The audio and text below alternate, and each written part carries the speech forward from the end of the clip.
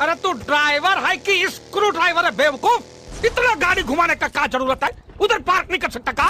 उधर पार्किंग के लिए जगह नहीं है। Enemy enemy down!